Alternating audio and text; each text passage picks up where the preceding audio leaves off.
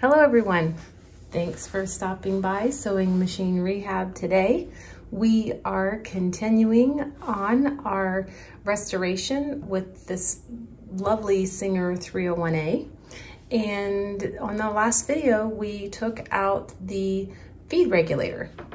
So today we are going to go ahead and take off this lampshade and we're going to start removing the wiring. One of the things that I didn't mention in the last video at the end is that that will also include removing the motor from the machine. So a little bit more to bite off here than we originally thought, but I didn't think about that when I was filming that, yes, the motor will come out at this point. So then we're getting pretty close.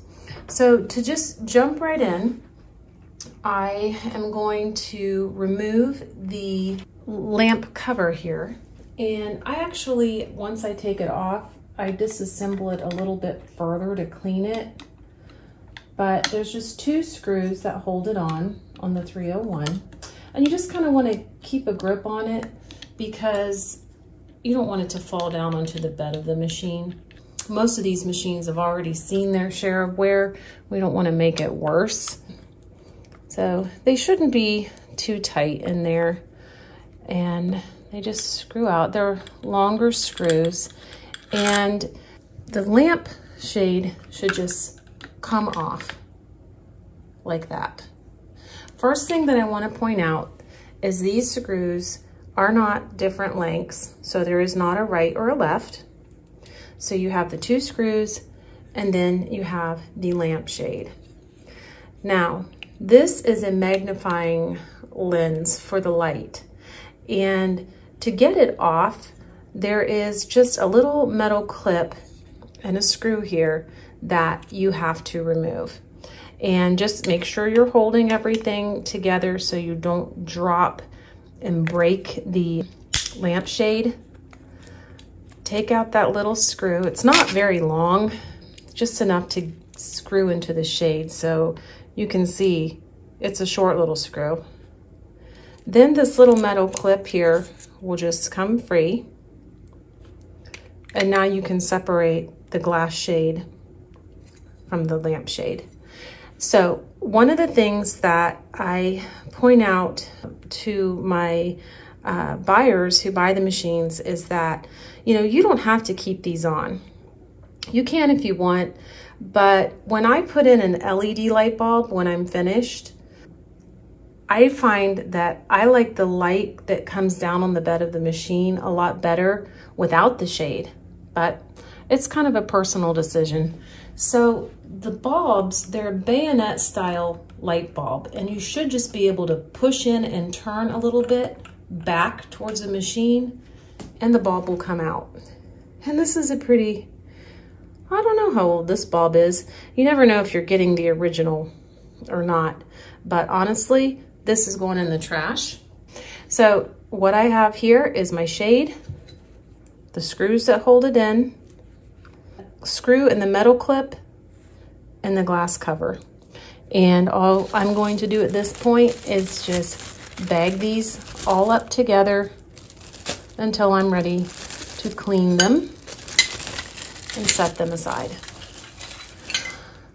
So the next thing that we'll want to do is go ahead and loosen this screw right here. This is what holds this light uh, fixture in place.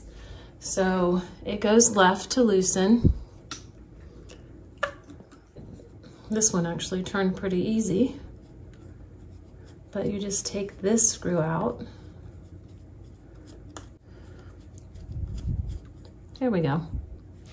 So it's funny because all the screws are a little bit different. So sometimes you think, well, I could use, you know, the screw somewhere else on the machine. Typically you can't. they all kind of have their own unique place. But this is a screw that holds in the light socket in place. So now what we have to do is get up to the top of the machine. And I think in this video, I will probably uh, stop and start a little bit so you don't have to go through all the adjustments I'm going to make to the camera. I don't want to make anyone seasick. So let me get that set up and we'll carry on. Okay, now we're going to look down into the top of the machine. And if you see this right here, this is just a little metal guard and it holds this wire for the light in place. It also kind of acts as a guard against some of the grease that's flying off as the gears spin. But if you just pull up on it, that's all you have to do to remove it. And you can see we'll get all this nasty stuff off before we put it back. So what you have here is the, the wiring for the lamp, which connects to the wiring for the motor. And you have a couple options. Some people will remove these wire nuts. They will go ahead and separate these wires so you can pull this through this little rubber grommet here and all the way out. Other people will leave them. So for me, it depends on the machine that I'm cleaning actually. On these black machines, I'm never going to get this fully wet in a way that I'm worried about the wiring. So I do not take this apart. Another reason why I don't like to is these little nut, these little wire nuts, they're really small. And maybe I haven't looked hard enough, but I have a hard time finding ones this size anymore. And so when I do cut the wiring and put on new wire nuts, uh, I feel like I have a bigger uh, bunch of plastic to stuff down into the machine. So I am leaving them on for this. There are videos out there that will show you how to unscrew these, cut and trim the wires and add new wire nuts. In this case, I don't have any issues with the wiring of the machine. I'm not going to be getting it really wet or anything. So I'm just gonna leave them there. So now what we have to do is start working from the underside of the machine. So this is you worked on the front, you're working in the top. Now we're gonna work on the bottom for a little bit. So I'm going to flip the machine over and show you what we do next. Okay, so now we're looking under her skirt here. So this metal piece right here is actually the support that holds the motor up in place. And there is a screw right here that you have to loosen in order to get the motor out. And do use a heftier screwdriver. That's why this slot on the screw is so big in the first place. And you should just be able to turn it free. I think I loosened this one ahead of time because that was super easy. But anything to save a little bit of time. And it's a little bit longer. It's not a short, short screw, so you will have to give it a few turns before it's all the way out. And here we go. So this screw is what holds this cover on, which holds the motor in place. Now, you should be able to just slide this off, okay? And set it aside, whoops, with this screw, bag it up if you want. And now we're looking at the wiring for the motor. And we have two leads here that plug in to uh, little prongs on the motor. And you want to pull these loose. Now, do not grab the wire here and pull. Don't ever do that. Instead, make sure you've got a nice grip on the gray part and just wiggle it free. And I always do the one on the left first, so then I can get a better grip in on the right. And it really is a tight squeeze with the hands, but you should just be able to pull it free like that. Now, I am going to flip the machine back up so I can see if this motor is just gonna drop out or if I'm going to have to coax it a little bit. I think what I will do is first I'll just flip this uh, whole machine up and see if the motor is gonna fall out. Oh, I didn't hear that clunk. That's always the noise I'm looking for is that motor kind of falling down because there's really nothing that's holding the motor into place now. It is only uh, varnished oil that's really keeping it stuck in there. So sometimes a little push, sometimes if you work from the bottom, get back on the motor here. Sometimes you can wiggle the motor a little bit left and a little bit right, and that will sort of loosen it. But this one, I don't think that's gonna happen. I think it's pretty stuck in there. And this is one place that I don't want to put oil. I really don't. I don't want oil getting down inside the motor. So I have to be a little bit creative on how I'm going to get it to free and fall out. So let me move this so it's back standing up and I have a good shot for you and I'm going to show you what I do in this situation. So here is the very top of the motor. So that motor, go, it's pretty long and skinny. It comes all the way up here and goes all the way down to the bottom of the machine. So the way that I will get it out, hopefully, is I'm going to cover the end of this worm gear and I am going to give it a couple light taps. Generally, that's all it takes. I will not hit uh, my little hammer right on top. I'll provide some cushion between my hammer and the metal of the motor and hopefully that prevents me from damaging anything. And people may have different opinions on whether or not you should do this. I've seen uh, and heard a lot of different opinions, but this is how it works for me and my hands aren't strong enough to work it free any other way. So let me get what I need and I'll show you how I do it.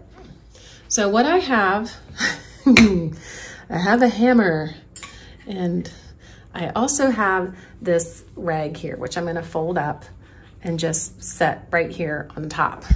And then hopefully without whacking my fingers, I'm just, look, okay, this is already sliding down. This is lower than it was. So let me see if I can get a few more taps in there and the rag is kind of thick. Let's see if I maybe give it a few less layers. And let's check and see.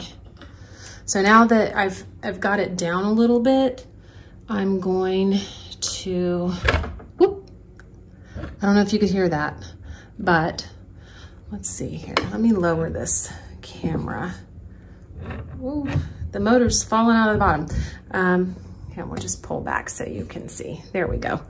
So now, can reach under here and ta-da, there's the motor.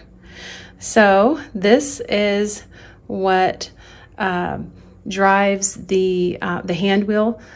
Uh, okay, let me give you a better explanation. We have a commutator in here that spins around, which spins this worm gear. As a worm gear is spinning, it uh, bumps up against the gears on the hand wheel, which then rotates uh, these gears and this shaft and all the parts in your nose that make your needle go up and down. And this is pretty nasty. Um, I don't know why. Lately, it seems like all of the ones that I get are really gross. So what I'm going to do, because we're not taking the motor apart right now, I'm just going to slip a bag over the top so I can lay it down on my table and we'll deal with that later. So now we have the motor out and let me set this back up again. So now we need to deal with the rest of uh, the wiring. And uh, because the way this 301 is designed, we actually have two different plugs. We have a plug here and we have a plug here. Your 301, it is possible this plug isn't there. And, uh, but in this case, I have one, so I have to remove this and this. And there are two screws here um, that we're just going to hopefully twist out freely. These are pretty dirty too. I'm wondering if you can see that very good. I don't have fancy lighting. I actually have some Ott lamps that I use when I sew and they both have two lights on them. Um, one of them is a magnifying light, which is awesome for inspecting parts. And they're just a little bendy, so I set them up and try to point them in the right direction. So here is the second screw. These screws are the same. So when you put this plug back in later, you don't have to worry about top screw, bottom screw. They're the same. So before I can get this out, I need to go ahead and loosen these two screws. And I think I need a little bit smaller of a screwdriver here. And hopefully they're not too tight. They just come out. They're short little screws and you don't want to lose them. There we go. You see it's wiggling around now as this comes free. There we go. So this is what these screws look like here that hold in this plug. And if you don't have this plug, then you just skip this step. So I'm gonna set them aside as well. Now what I need to do is work this plug up inside the machine and I'm gonna take everything out this hole. Now, you don't want to just start yanking on this. There are solder points that if you uh, like to solder wires, then go right ahead and yank. But if you don't, you need to learn how to be gentle. And that might mean that you're stopping and you're looking up under the machine to see where the wires are bent and where you need to kind of work them free. It's almost like if you can get the top out and then the bottom out, or the top of the plug and the bottom, you know, at different times, it's kind of, you just wedge it. Now, here, let me see if you can see this. Do you see this wire up in here? It's curved. It's when you have it in the machine properly, it will be curved behind this hole that the motor shaft goes up into. So this wire is always tucked back behind this. It should never be in front of it, or obviously it can't be across the center or you wouldn't be able to put the motor back in. So if you just kind of lift it up over that, it just gives you a little extra wire to work with. And now you can pull the whole bit out the side of the machine, which turn it back around for you. And let's see, we'll put the light back. So now, since I'm not cutting the wiring, I'm gonna show you what I do.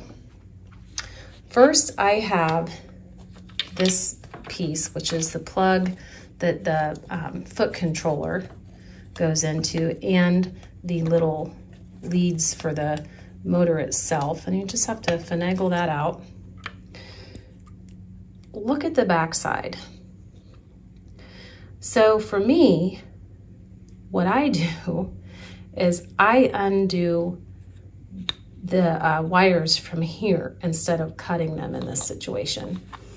And all you need to do, if you're worried about putting stuff back, take a picture. That's it. Take a picture so you can look at it later when you go to put it all back together and you'll know which wires go where. So again, now I really need to just worry about undoing these wires right now. These are the ones that are going up to the lamp. So I will unscrew it.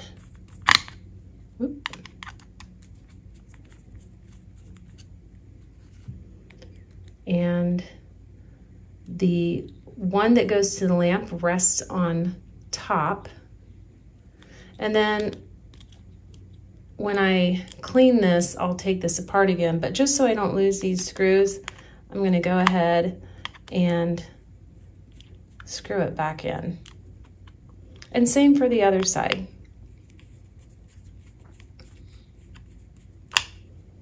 Let's see if I can spin it with my fingers.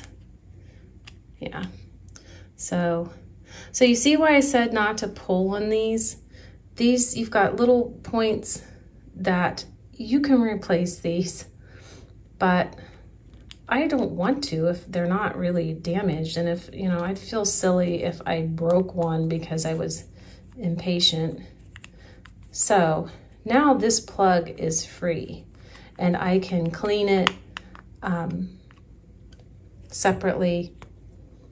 And this is just a job with rubbing alcohol, Q-tips, getting it all nice and clean. And it's just, it's icky from the, um, from the motor and carbon dust and all that. So this I will set aside in a separate bag. And I am comfortable, because I know what goes where, I'm comfortable putting this in a bag along with the two little screws that are for the plug for the foot control, along with the two little screws that hold this plug to the body of the machine. And this is the uh, screw for the uh, holding the light socket in place. I put that in there too because they're all different enough. It's not going to be confusing.